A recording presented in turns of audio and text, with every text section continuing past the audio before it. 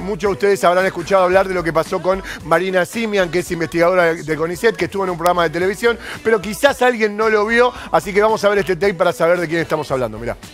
Estamos muy cerca de ganar una fortuna. Estamos, digo, porque es para todo lo que están haciendo ustedes.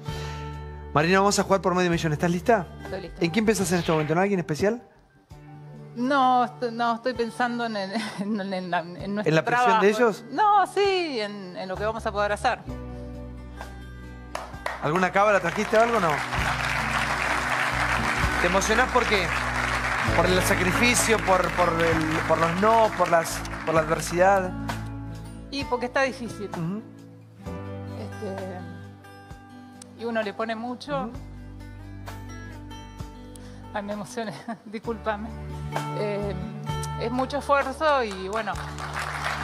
nada, Papelito para... Tranqui, Mari. Eh, el querer cambiar las cosas. exactamente. 500 mil pesos. Estamos muy cerca de ganar una fortuna. Estamos, digo, porque es, para todo lo que están haciendo. Es increíble. Bien, así estaba Marina eh, y la tenemos en comunicación telefónica del otro lado.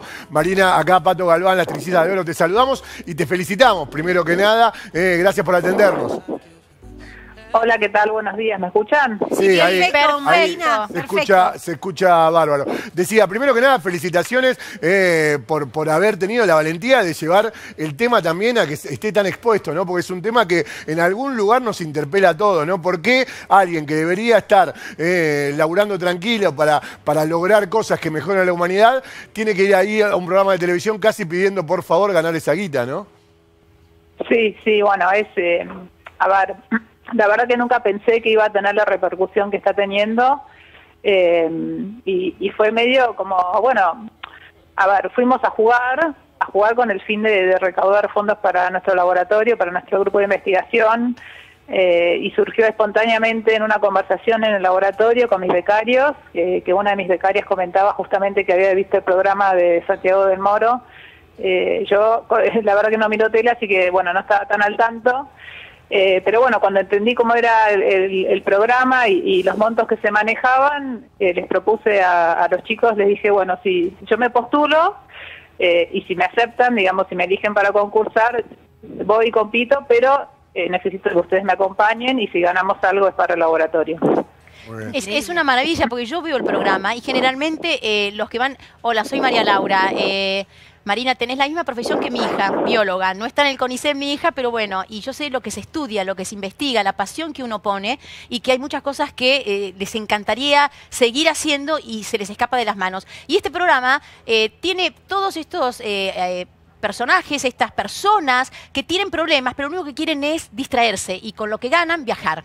Viajar, divertirse, tener un poquito de. Un, un- una especie de. aire. El famoso premio. Y es increíble eh, lo tuyo. eh, es increíble también todo lo que está pasando, que no es nuevo. Esto de los subsidios, de que les deben y que ustedes no es que están pidiendo algo para viajar, están pidiendo algo para lo que, que dijo Pato recién, Para que es para todo, para todo el mundo, unas- nada más y nada menos que el cáncer. Así que ese es mi orgullo eh, como argentina y yo quiero que, todo, que en todos lados haya salido esto. Yo, salió en bastantes medios, pero que se haga popular, porque a veces se hacen populares otras cosas. Y esto habla bien, además de, de- habla bien de vos. Habla bien de vos y es un orgullo y yo te aplaudo como argentina porque además también podrías haber dicho, con esa plata me voy, me voy e investigo en otro país para otros países y para otros para otros para otras personas y vos te quedás y lo único que pensás acá es en Argentina que hay muy pocos argentinos que piensan en el país, así que te felicito, pero esos nervios, porque vos fíjate que uno dice voy, pero también los nervios, porque son preguntas eh, de mucha cultura, pero también hay preguntas muy pavas también que las tenés que dar, las respuestas. ¿Qué, qué te pasó? ¿Te diste cuenta que podías llegar? Porque a veces si te das cuenta, los nervios te paralizan y te traicionan. Bueno, sí, la verdad que a, ese día que fuimos a grabar y, eh, fue un día muy largo. eh, llegamos a las 10 de la mañana y recién a las 4 y media me tocó concursar a mí.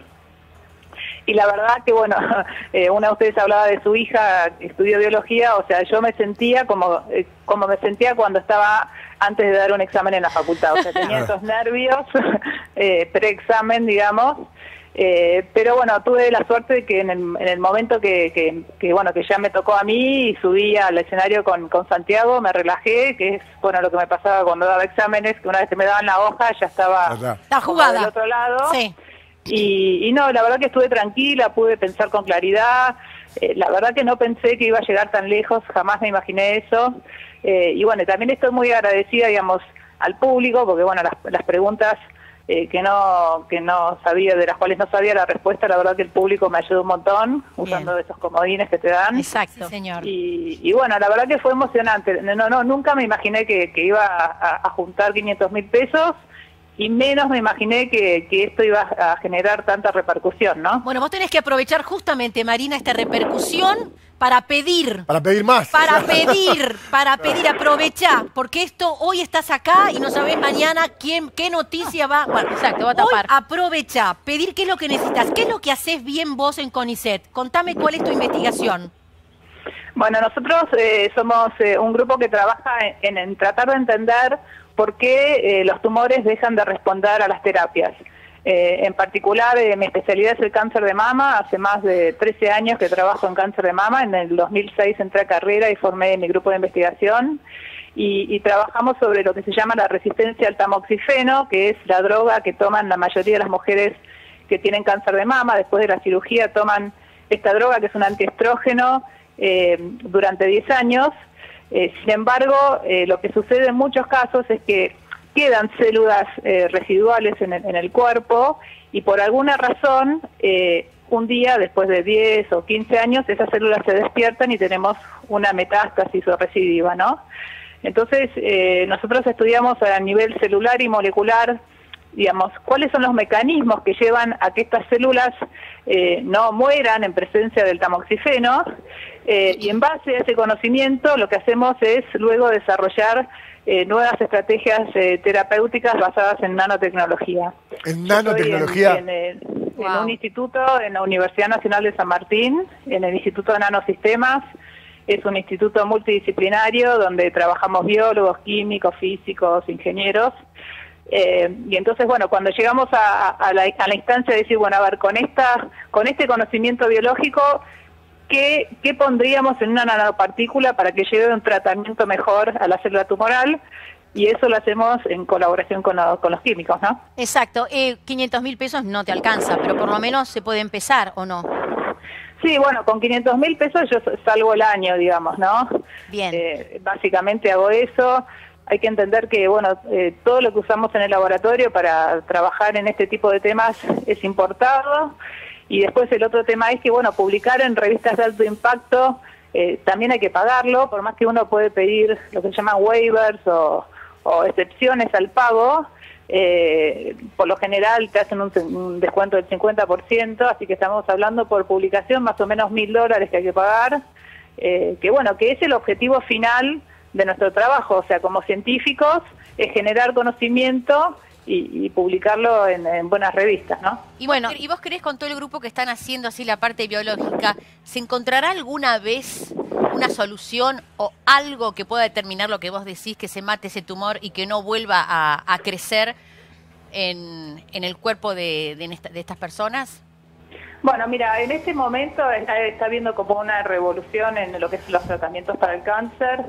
Eh, por un lado está la inmunoterapia, ¿no? Que está en sus primeras etapas, digamos, que ya se usa en la clínica, pero creo que eso, digamos, se va a ir mejorando sustancialmente ahora con los años. Y después, por otra parte, eh, estrategias como la nanotecnología, que son eh, son, formas de hacer el, el delivery de la droga, ¿no? En el caso de la nanotecnología lo que se hace es encapsularla en estas pequeñas partículas.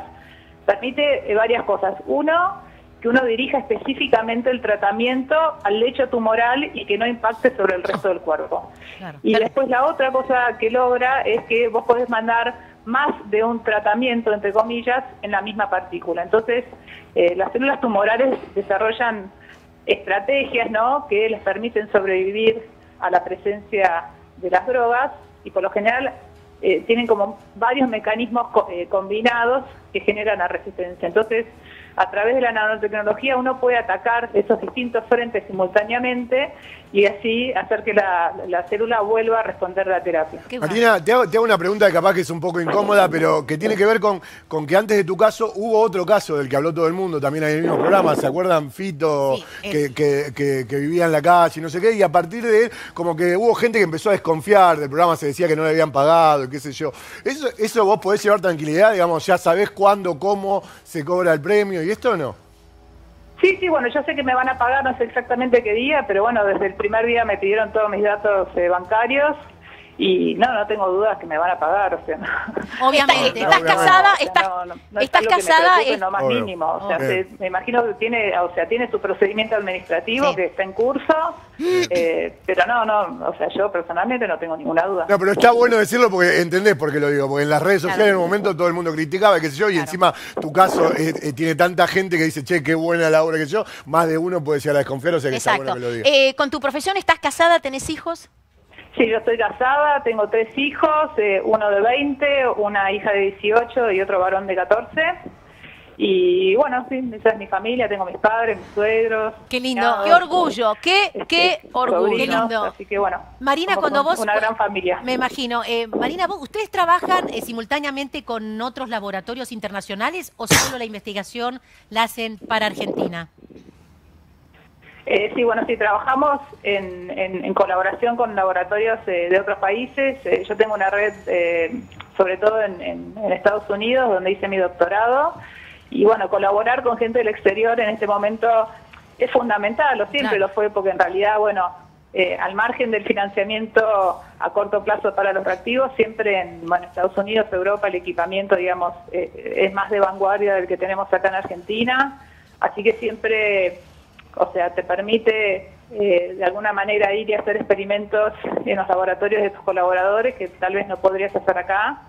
Y bueno, después a través de programas de becas como la Fulbright o becas que tiene eh, la Secretaría de Ciencia y Tecnología, uno puede enviar a sus estudiantes de doctorado por tres, cuatro, seis meses a ser parte de su trabajo de investigación en el exterior y la verdad que para, para los estudiantes esto es una, una muy buena experiencia, les abre los ojos, les, les permite conocer científicos de otros lugares del mundo, la verdad que es eh, súper positivo. ¿Cómo se puede ayudar particularmente? Pues yo sé que hay un subsidio del gobierno o de empresas o de los que tienen muchísima plata y que, qué sé yo, van a hacer un curso a Finlandia de fotografía que también pongan un poco de plata, mucha plata ahí. ¿Se puede eso o no? ¿O estás o hay que hacer toda una parte protocolar?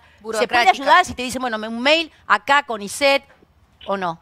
Sí, mira, eh, a ver, los científicos, esto tiene como varias aristas, ¿no? Por un lado están las becas de los estudiantes, eh, que estas se concursan, eh, mis estudiantes tienen becas de CONICET, de, de posgrado, ¿no? De doctorado y postdoctorado. Después está el- la parte del financiamiento, que los investigadores somos, digamos, de alguna manera los, los generadores de los fondos que subvencionan los proyectos de los estudiantes. Eh, y yo constantemente estoy, eh, digamos, concursando tanto en Argentina como en el exterior eh, por fondos. eh, a- bueno, en el caso de Argentina, al gobierno, o sea, al ex MINSI, y a fundaciones privadas, hay algunas que tienen concursos. Y en el exterior también hay fundaciones que aceptan los proyectos de investigadores de todo el mundo. Y después, por supuesto, que se pueden recibir donaciones. O sea, acá en la universidad y en todos los centros de investigación hay unidades administrativas que están preparadas legalmente para, Para recibir recibir. donaciones. Eh, Perfecto. en realidad, en, en los países eh, como Estados Unidos, la filantropía es eh, algo, digamos, habitual. Habitual. Claro.